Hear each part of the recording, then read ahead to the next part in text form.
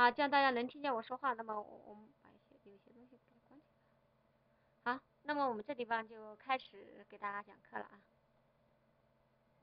那么我们今天要给大家介绍的是 MySQL。那么 MySQL 呢，嗯，在这里边呢，嗯，我们想给，因为我们这地方呢，主要给介绍 MySQL 的一些，嗯，最基本的一些用法。也就是说，在我们做开发的过程中，经常会用到 MySQL 的哪些知识点呢？那我们这里做一个介绍。其实我们我们任何一门数据库，呃，其实数据库呢都是，嗯，可以这样说啊，是融，是融会贯通的。那么，如果你学过 SQL，那我相信你学 MySQL 你很容易上手。那么你如果学过 MySQL、SQL 的话，那你上奥，你如果你去学 Oracle 的话，开发的话，也是很快就能够上手的。嗯，通过我学数据库的一些经历呢、经验呢来看的话，MySQL 呢是介于 SQL 跟 Oracle 之间的，它的很多语法和 SQL 很相似，同时也很也和嗯 Oracle 呢非常。相似，所以在使用的时候，如果嗯你把 SQL、Oracle 都学习了，你会发现 o r a、MySQL 介于两者之间，所以它的用法的是在使用 MySQL 呃使使用 MySQL 的时候，嗯，对于学过 SQL 的人来说，很快就能上手，因为 SQL 的语法是通用的。那么不同的地方呢，我们这地方也会给大家提出来，哪些地方会有不同，对吧？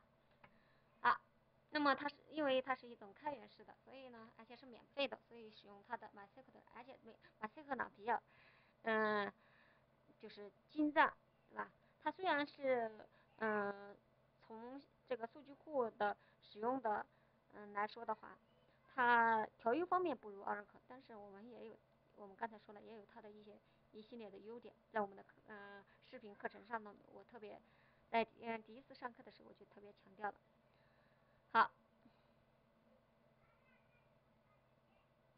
好，视频我已经在开始录制了啊。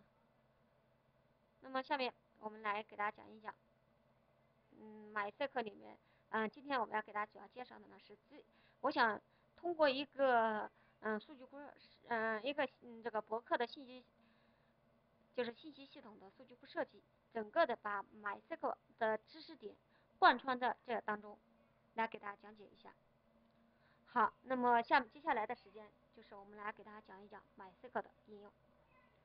我这地方呢用了一个关于博客信息系统数据库设计的。那么这里面我就简单，因为我这地方并不是直接给他做一个项目对吧，我我是从后台，我们主要是从数据后台数据库这个角度去考虑。也就是说，如果我们做开发网站开发的时候，嗯，那么不管是网站开发还是嗯嗯这个 WinForm 开发、桌面开发，任何一个开发，我们首先先是设计后台的数据库。在后台数据库设计的时候，不外乎就是一个是建库、建表啊。那么表表的结构，我这地方大致的给大家建了，因为我这地方是时间关系，我不可能把这整个一个博客大的这个系统拿来每一个表来给大家详细的去讲解，我只提出了里面的四四张表，常用的四张表来给大家讲解一下。并且我们来操作，来给大家看。那么我们先建一个第一张表，第一张表呢，我们想保存所有博文的内，就是这个博客的内容。那么这个博客的内容，我们希望呢，包括这个它的主题，啊编号，它的主题，也就是说我们希望有这样的四个字段。那么我们就在这里面给它来写，一边写一边我们给大家讲解一下啊。第一个是它的编号，第二个是标题，第三个是它这个博客里面的内容，我们希望看到博客内容。再往下就是这个博客，嗯，它的用户的编号，就是博主的写这个博客的这个博，我们称之为博主，博主的他的 ID 号。接下来就是他的他属于哪一类的，所属的类别。那么发表这课这篇博客他的时间。以及这篇博客他的评论，这个是评论的总数，有多少个评呃有有多少评论对吧？评论的总数是多少？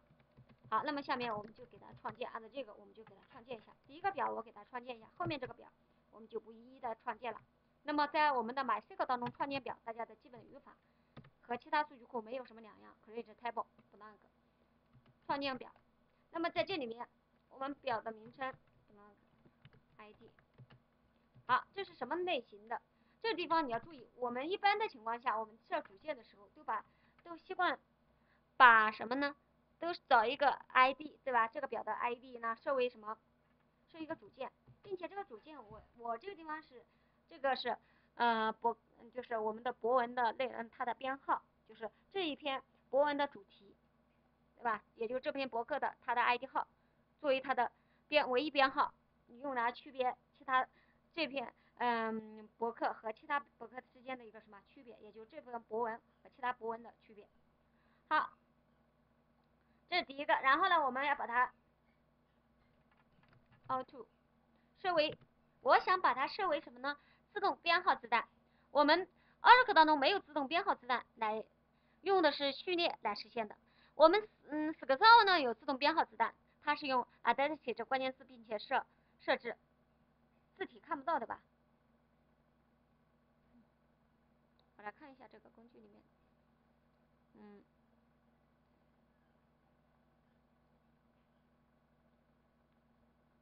看能不能设置一下啊？一般我就嗯，这个字体大小我还真没有在这里面去给它设置一下。一般的情况下，我都是采用，因为我这边能能看得见，有的朋友可能在屏幕上看不清楚吧？看不清楚，我这地方看看，这地方可以。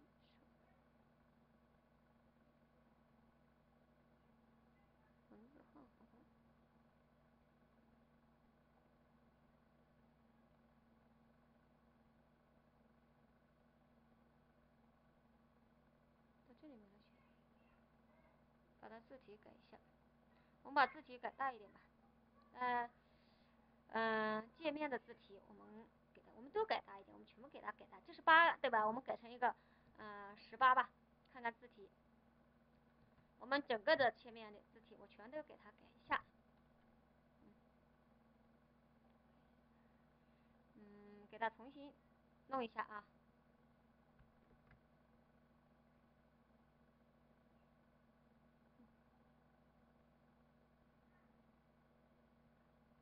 整个的刷新一下，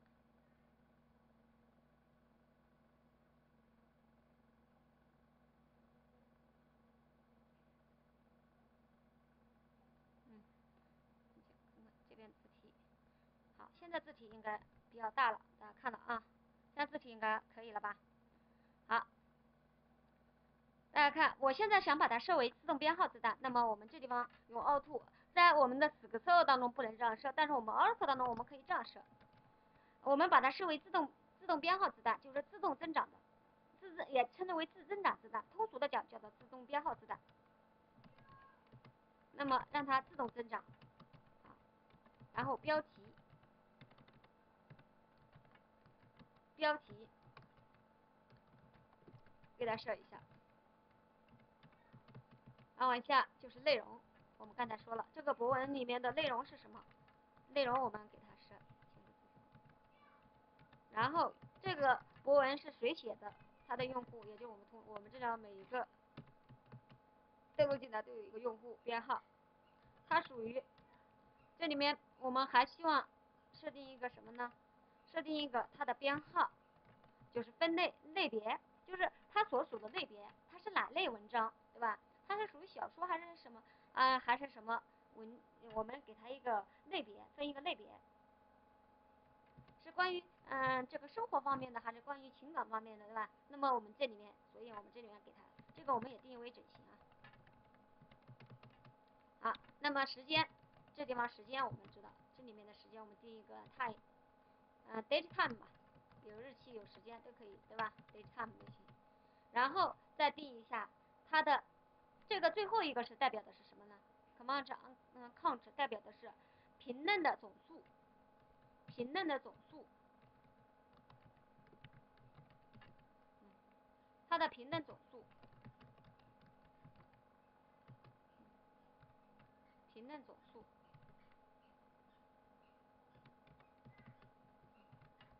这里面代表的是一个评论的总数。好，那后面我们就写上。这里面要大家注意一下啊，在这个地方，如果我就这样创建的话，那么它会有一个什么样的一个问题存在呢？如果这样创建的话，它的字符集，我不知道大家嗯在使用 MySQL 的时候有没有注意到，特别是这个嗯字符集问题，我专门有一章内容我记得讲了关于字符集处嗯字符集处理问题，就是字符集在使用的时候经常出现乱码，那这个问对于对于这种问题怎么解决？我专门有一章关于字符集的那一章内容，希望大家可以去听一听啊。那么在这地方我们默认的。嗯，它是嗯拉丁文，也就是嗯拉丁一这个文。那么在这地方我有一个默认的，因为安装的时候当时我们没有设置，所以它这地方如果我创建一张表的话，我任意创建新建一张表，它有一个默认的一个这个嗯学校里面可以看一下啊，它一般是默认的是哪一种的？如果我就直接这样保存的话，我我随便创建一个给大家看一下啊。那么，如果我就这样直接保存，类型我随便写，嗯，好，保存一下。如果我创建一张表是这样的，这张表是设计完了，设计好以后，你看一下这个表里面，看一下这个表里面的类型，啊，这个表，啊，这个表我我设的比较太简单了啊。这个表里面，我们先看这个表的结构，我想演示给大家先看一下，啊，这个字体。我把这个地方改一下，这个太大了，我看不见，没办法看，对吧？嗯，编辑器界面的颜色不要这么大吧，给十吧。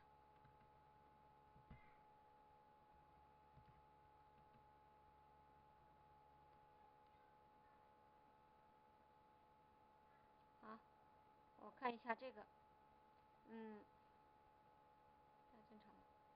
那么这个地方你看一下，它默认的。二零一，这样的话输入，如果我输入汉字的话，我这地方可以再打开，再往里面，嗯，设计的时候再加一个字段吧，再添加一个字段进去啊。嗯，假如我再添加一个字段进去，好，那么我们这地方我保存一下，我想给大家说明一点，好，保存完了以后，我往里面输入数据，打开这个表。嗯，假如我输入数据，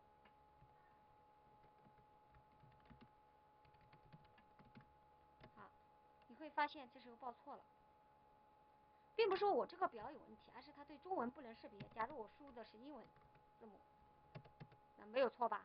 但是如果我写我写的是中文，随便写一个字，好，报错了，这是字符集问题，这是字符集的问题，这地方你一定要注意，为什么呢？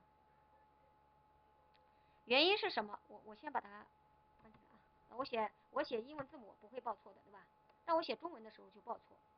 那么这因为默认的是拉丁文，但是我们 MySQL 里面，我们当时安装的时候，我们我们这个默认的是跟我们现在的这个嗯，我们刚才默认的这个嗯字符集类型不一致，所以它两者就客户端和我的服务器单两者不一致的时候，如果字符集不一致的话，它也会出现这种情况。好，那么。嗯，怎样能处理这关于这种字符集的问题呢？这时候，嗯，我们就我们在我们的视频课程上讲了一种，那么为了它的这个扩充性更好的话，那么我们一般把它视为 UTF 八。那么呢，这种如果是这种形式的话，它是兼容的，它是多个国家的语言都语种都能够兼容，所以我们在设字符集的时候，我们特别要强调。那么我们下面先先设一个它的。存储，呃，我们先我我先给大家嗯定一个它的存储形式吧，嗯，in number db，这个你要注意啊，这个大家不用讲，大家应该能看懂吧？因为我的课程当中这个写的用的比较多，嗯，in the db 是什么？这是存储，嗯，从存储引擎上存储这个角度，如果我们定义的是这种存储引擎的话，那么它的优点就是提供了一种事务管理，良好的一种事务管理，而且它具有一种呃事务的修复功能，而且对于并发控制能很好的进行并发控制，但这种也有它的缺点，所以一般事务处理的时候，如果我们我们是作为嗯数据仓库，这张表是用来数据仓库当中那么就不适合了。但是如果我们是用来进行增删改查、增删改的，那么在这种情况下，这张表是用来进行事务处理的，就是我们经常常用的一种用来开发的。对这个表里面，我们经常要往里面添加删除、修改数据，也就是用来做事务处理的。那么就适适用于 InnoDB。那么这一种，哦，我们这地方重新来，InnoDB，好，用的比较多，所以呢，嗯。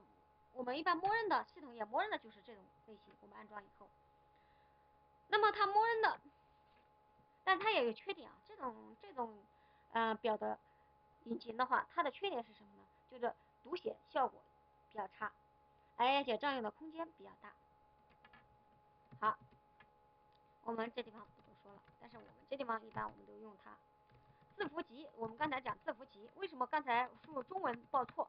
那所以这地方我们就要。把它设一下字符集，默认的字符集不行，那我们设一下，用哪一种？U，我们叫 UTF-8，这个我也说过的啊，在我们的视频课程当中用。UTF-8 我们说了，它是一种多个国家的语种，所以它肯定是兼容的，它包含的范围很广，对吧？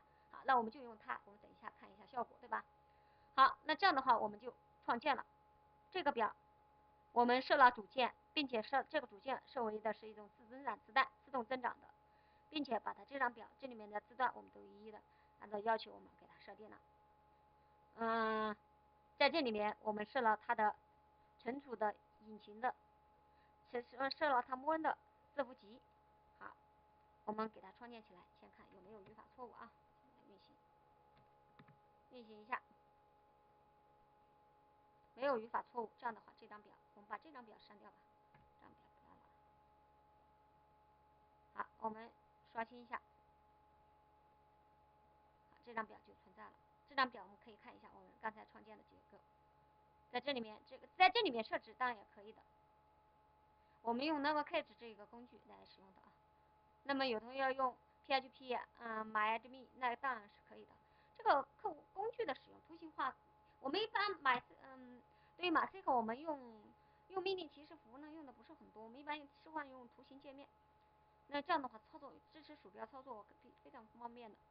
好，那么这地方我们用的就是这个第一个字段设为主件，并且我们设为自动增长，自动增长，大家看到了。好，在这里面我们还刚才也说了，我们在这里面把它设了一个默认的字符集，是 UTF-8。那么自动增长字段，这是表的类型，也就是存储引擎，对吧？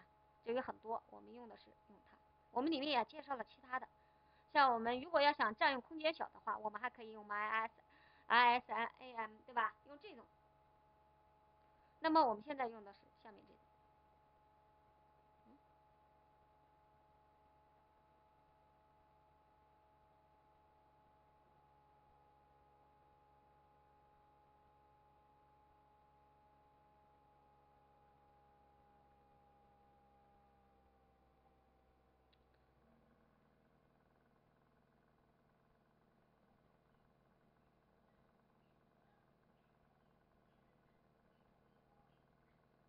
能不能看见？啊，能看，能不能看？能看见吧？怎么突然就？能看见吧？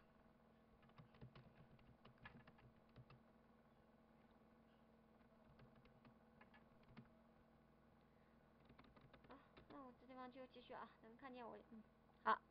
那么我们这地方刚才说说了一下它的类型以及字符集这两个。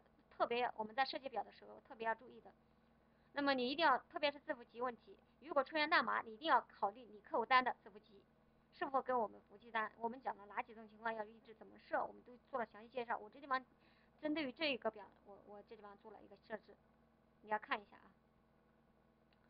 好，这个表创建好了，那么我们还有其他的表，我们也一样去创建。这是我这地方创建好的这张表，还有我们这个所有的博文的。分类，那么我们这边也一样，按按照刚才的要求，我们给它创建，我就不一一的写了啊。那么我们这地方按照要求来，这个表里面呢，我们就给它需要哪些字段呢？这个我们就给它去掉了。好，再创建这一张表，这张表里面我们是类别，那么这个类别里面，我们需创建了一个 ID 号，嗯，这个分类的它的名称，那么分分相嗯它的文文件类型对吧？那么有这样的相相对的几个三三个字段，那我们把它运行好。那么还有哪些？我们再来看一下它的评论，对博文的评论，就是我们一写了一篇博客，那别人可能会很多人在下面留帖对吧？写对你这篇嗯博客给予留言对吧？评价怎样评价的？那么它的评价我们这地方设了几个，就是对它的评论，这个评论的编号、ID 号，这个评论的它的评论人是他的 ID 号，就是我们作为一个评论人，他每个也都是每个评论人也都是一个用户，他的用户编号，以及评论的内容是什么，还有这个评论他评论的是哪一篇哪一篇博客，就是 ID 号，博就是博文的 ID 号。好，这是我们评论的这张表，我们也把它创建起来。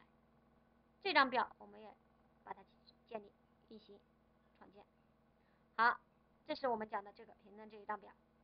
那么还有一个表，就是我们的用户表，保存博主的 ID 号、用户名和密码。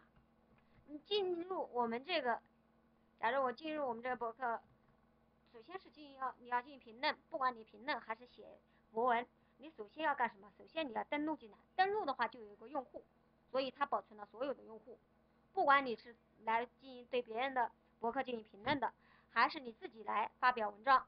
那么首先你要有一个用户，那么每个用户有一个唯一的编号，用户编号、用户名、密码。那么这张表设计跟其他表设计没有什么两样，所以我这地方直接就创建了啊，不再重写第二遍了。好，这样的话我们也给它创建了，这样这个表就创建了。好，接下来我们要要做的事情是什么呢？表创建的我们已经创建好。下面接下来我们就对表进行什么？我如果我们就从数据库设计角度来说，先设计表，表设计完了以后，接下来我们啊四张表都已经设计好了。这四张表，一个是建了四张表，一个是关于保存博文的表，block 这个表，然后是这个表进行对这个博文进行分类，文类分类就类别表，然后就是它的评论表，接下来就是一个用户表，有这几个。好，下呃下面我们就是要往这个表里面添加内容了。第二个就是实现，哦，先我们往里面添加内容吧，后面我们再实现查询啊啊，增加它里面的内容。我们先要增加的是，我们把用户的这里面刚才你也看到了，嗯，一共是四几个字段呢？是注意啊，这个添加的时候自动编号字段我们不需要添加的。，use ID 是用户的编号，它不需要我们，因为自动自编号字段的话，不需要我们插入的，它自动会给我们加入进去。所以在这里面我们就不需要往它里面添加进去。那么我们添加一个用户的嗯 U User Name 用户名，Password 密码就行了。好，那么这里呢我就事先写好了三个，这个写法语句我不用写教了大家了吧？这是最基本的插入。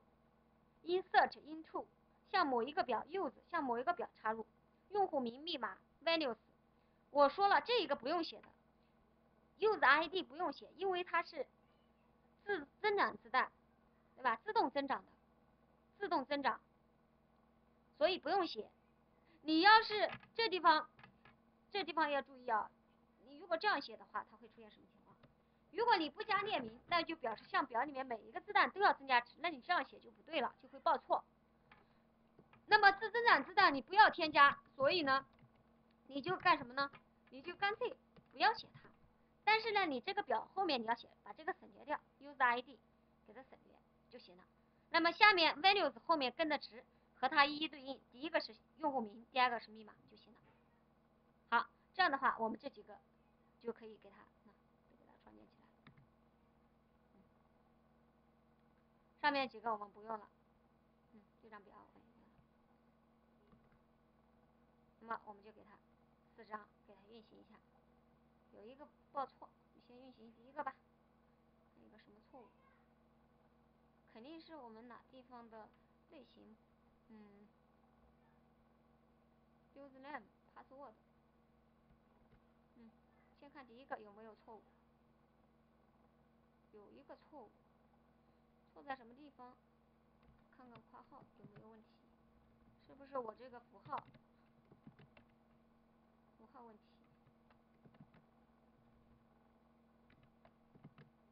嗯，先先看一下啊，运行，好，可就是我的符号问题啊，符号问题，现在就没有错了，你到这里面来看一下，刷新啊，四张表都有了，打开第一张表看一下，啊一自动编。自动编号的字段吧，从一开始，每次增加一，对吧？尘土归来密码，这是它的密码。我这个密码没有经过加密，你也可以用嗯写一个加密算法把它进行加密，都是可以的啊。好，那么接下来我们再来看，接下来我们再来看这两个，这个呢地方可能也是我这这地方的，他对这个要求非常严格啊，就是什么要求呢？就是这个符号的要求。要求是在，我这地方是在，可能是在中文状态下输入的这个符号。下面的我也一样把它去掉，因为我怀疑就是这个符号的问题。因为我们的基本语法，这个 insert into 像一个表里面插入数据是不会错的，是吧？像这两列里面插入 username 和 password，这应该没问题。然后给两个值。哎，user ID 呢是自增的自带自动添加的，所以我们只要像这两个添加就没问题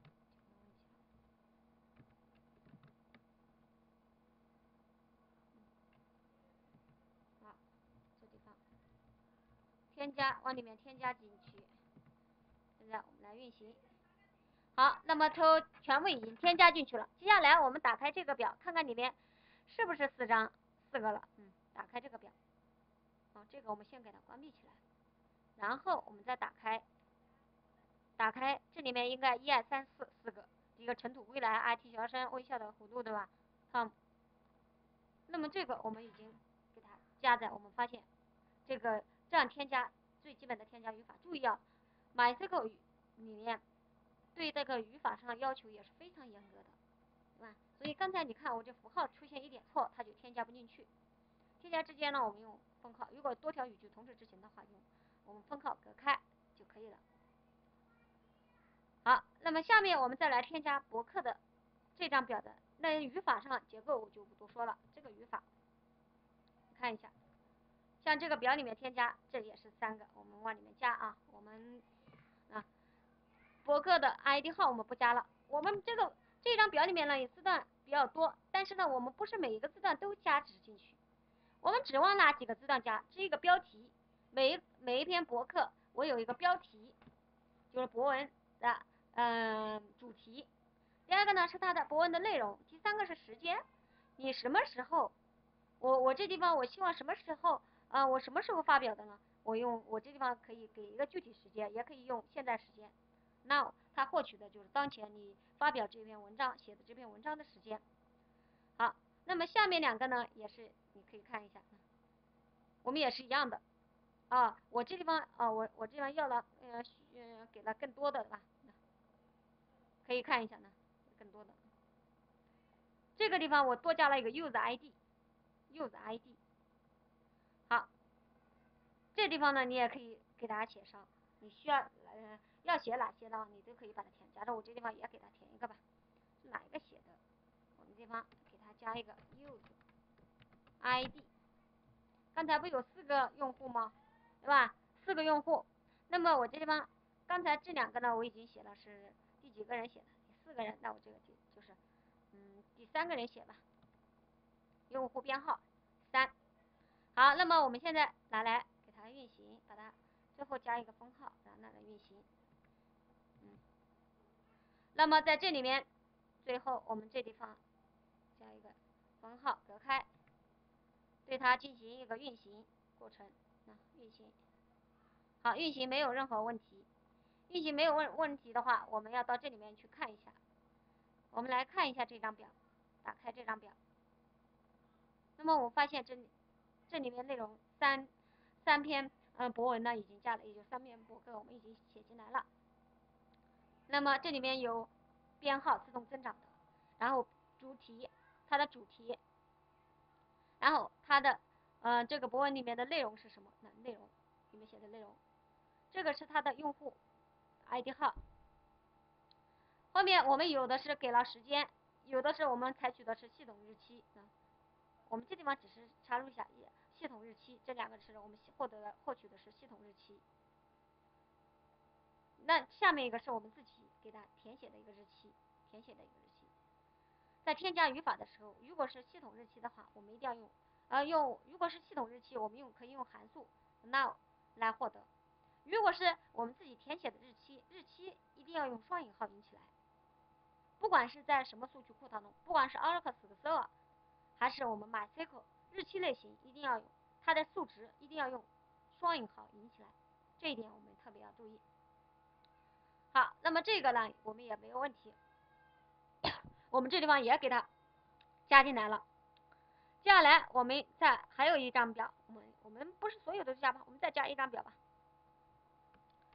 这个表是加什么的呢？这张表我们也事先给大家写好的。因为这个写比较耽误时间，我们就不慢慢花时间去写了。这个呢是我们的，刚才我们也看了，我们一一共建了四张表，还有一张表呢是我们的评论的内容。这张表是我们设计的时候我们说了它是评论，每一篇嗯你的博文就是你的博客发表了，那么别人可能对你这篇博客进行进行评论，写的好还是写的不好，或者有有自己的一些什么呃感触，或者有对这篇博。嗯，这个博客有什么样一些看法都可以写，这就是评我们所讲的评论，评论的编号，这个评论是哪个写的，评论人是谁，就是这个评论人的编号，还有他的内容，评论的内容，他评论的是哪一篇博文，也就是博客，对吧？好，就是博客的 ID 号。好，这样的话我们就把它写了。我们对第二篇，这个是对第二篇。这个是对第三篇，这是对第三篇的看法。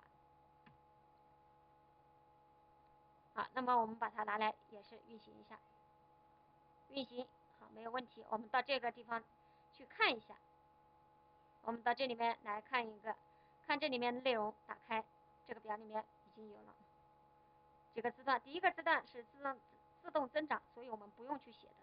那么第二个字段，它的是用户。哪个用户评论的？第三个是评论的内容，第四个是他的评论的是哪一篇博客？那么我们在这里面就已经有了。好，接下来我们就来往下看，我们要实现的还要实现数据已经设表设计了，数据加载了。接下来我们来看我们的查询。下面我们要实现的是一个什么样的一个功能呢？我们要查询，假设我们现在要查询。指定的一篇文章，那么我们怎么来写这个查询语序？看这个查询，我们看一下这个查询，我们要实现的是下面这个查询的功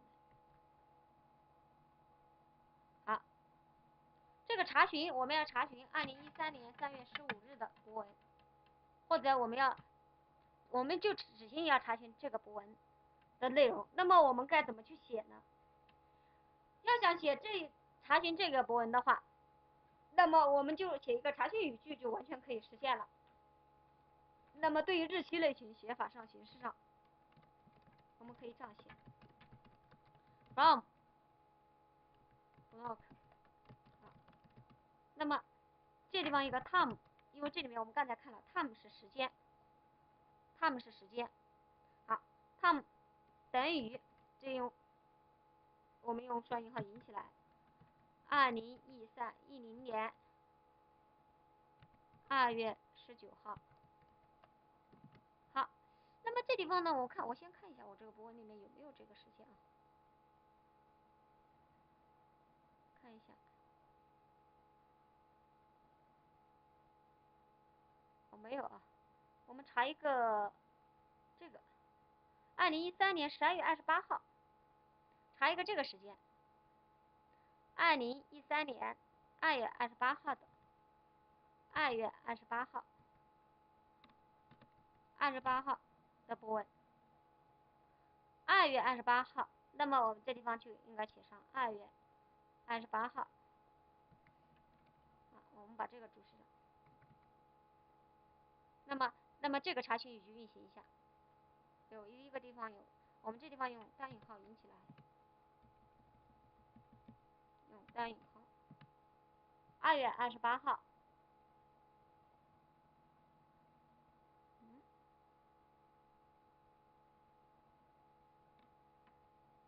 查询，这地方没有写错吧？等于二零一二年二月二十八号，给他他报一个什么错误呢？后面的日期类型，我们做一个类型转换，大家看一下，我们做一个类型转换，date for match 这地方 date for match 是一个转换类型转换，转换成字符类型，看一下它的格式。如果你不知道的话，那你现在要把它掌握了。这种类型转换格式，如果它不能识别，我们就这样写吧。嗯，二零二零一三年二月二十八号，这个是百分之 y 代表的是四位的年份，mm 代表两位，然后这个 dd 代表的是也是两位的日期，就是号数。这个 mm 代表两位的月份，这个代表年份，给它写上。我们这方没有，等一引起来。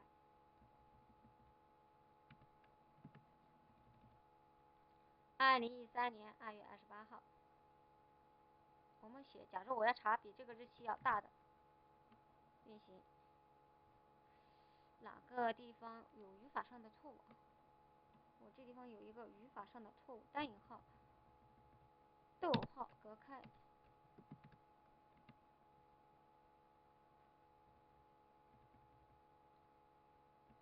条件 where，看我这个地方，date for 日，这是一个格式转换，从这个时间，假如我比它大，它不能识别这个字符，我们把它注释掉，不能识别我们的这个字符，不能不能 time 百分之 y 百分之 m 百分之 d。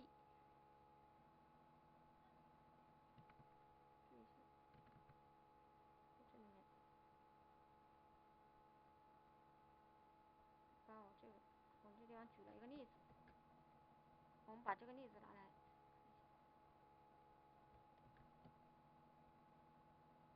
不能识别，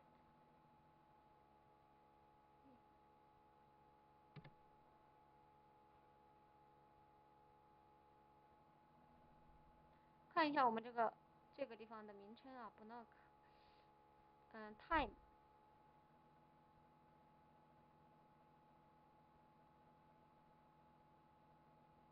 看一下它的类型，我主要是讲这个日期类型的，time，daytime 类型。h_time 类型，用双引号引起来，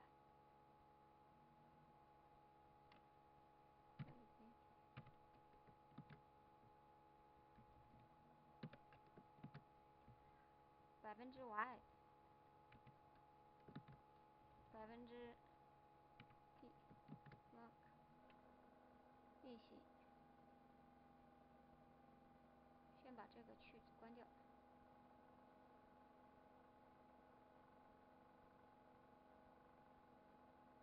我这版本不支持。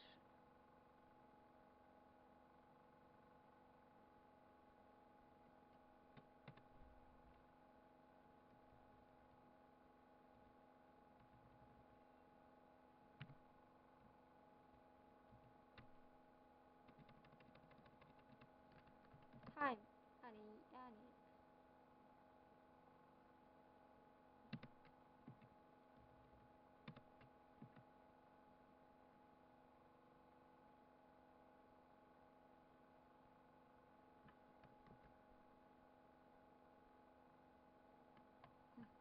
那错的不是我前面啊，不是我这个语法上错误，把它去掉，大家看一下。这两种写法应该都是可以的。应该没错的，大家看一下，没错吧？不是我的错了，因为我刚才在我的编查阅编辑器里面，我把它上面注释的，注释是不行的，这个语法上没有错的啊。这个我来说明一下，那假如我要查等于二零一三年二月二十八号的二月二十，是不是二零一三年二月？我看我写一个大于等于大于等于二月二十八的有没有啊？哦，这是十二月二十八号，我难怪我找没找到了。假如我要查一个十二月二十八号的，那你就这样写。刚才是因为我来注释了，并不是我的语法错误，我这语法应该没错的。这种运行形式大家看一下，二零二零一三，年，二月二，这是两位的，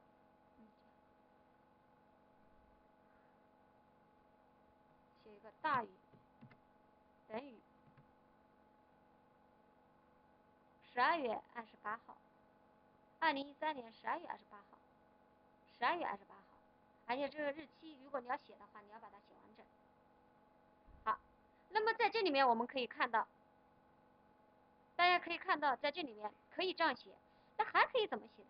这是一个格式转换，转换成字符类型。除了这种写法以外，我们还可以甚至还可以写上直接写一个 while time 大于等于，直接这样写行不行？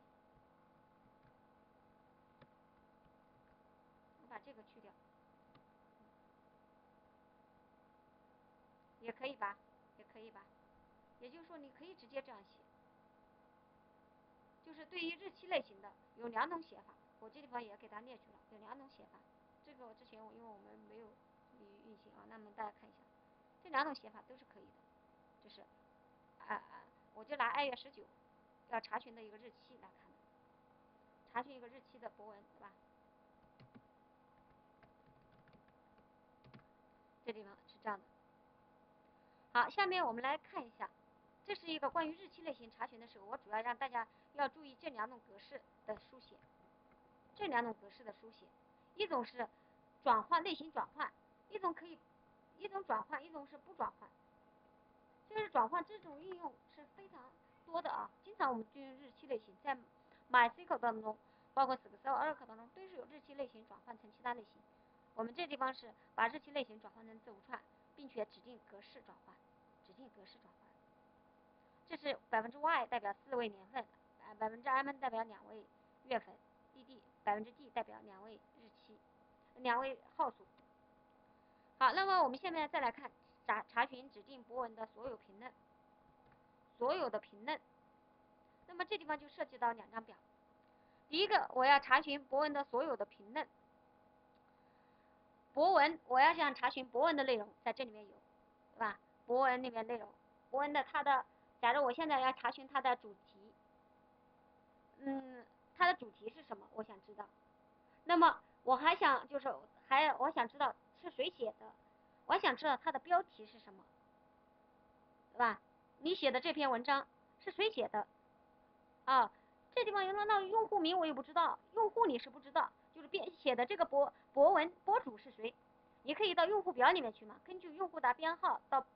用户表里面把这个人取出来，并且呢，我还要知道他写的是哪一篇文章。有三个标题，把这个标题给我写出来，显示出来。我想，我主要想看他的评论，我要查找的是他的评论，对吧？那么在这里面，他的所有的评论，假设我们想这篇文章，三这个别错怪了从前，错失了以后这篇文章，他有哪些评论呢？有。其他的人对这篇文章是怎样看的？就是他的评论，他的评论我们在另外一张表里面，那专门有一张表写他的评论，对吧？啊，这篇文呃有两个人对他进行评论了，对吧？那有什么样的评论？对这个文章啊，有一个人这样讲的：心态好了，你的脚步才能坦荡荡，对吧？轻轻松松一个。还有一个就是我他啊我啊看对吧？有两个评论，那么我们要把这篇博文的他所有的评论给我调出来。一个要调出他，并且还要调出是谁对他进行评论的，评论的这个人要找到，那评论的人在这里，对吧？不仅要知道他评论的内容，还要知道他的评论这个人，评论的用户。那么这评论的 ID 号、用户 ID 我又不知道这个人是哪一个，同样的。到用户表里面去取，到用户表里面去取，这个用户 ID 也要到用户表里面去取。所以这地方应该怎么写？这样我们已经把它整理出来了。那么接下来就看我们怎样去写它了。好，那么我们要写它的话，我们可以这样来写。第一个我们要查询，我们来写这个啊，查找，查找的是所以第一个我们要查找它的博主是哪一个，就是它的博主是谁呢？它的博主就是写这个人，写这个文章的这个人，写文写这个文章的这个人。写文章的这个人，假如我我现在要查查找的指定博文，哪一个博文呢？我们要指查找的指定博文的这个所有评论，等一下我们指定一个人，对吧？这个博主是哪一个？我们这地方有一个，我们刚才说了，这个博主是就是他的用户 ID，用户 ID，对吧？用户 ID，那么把用户 ID 转换成。用户名 username 在用户表里面去，所以呢，我们这地方到用户表里面去找，找用户名 username from 从用户表当中，条件是什么呢？use ID 等于等于什么呢？下面我们后面一定要指定的我要找的这个人，那么所以下面这个要找的这个人，最后的我要从哪个表里面去找？block 我给这个 block 取一个别名叫 A，我们还要从哪里面去找？评论表里面去取 B。好，那么我要找的这个人，这篇文章的博主 A，他的用户 ID 去找到用户表里面去找。好，这个取出来的就是他的博主，博主。我们给他做一个标题啊。叫做我，嗯，怎么写呢？我，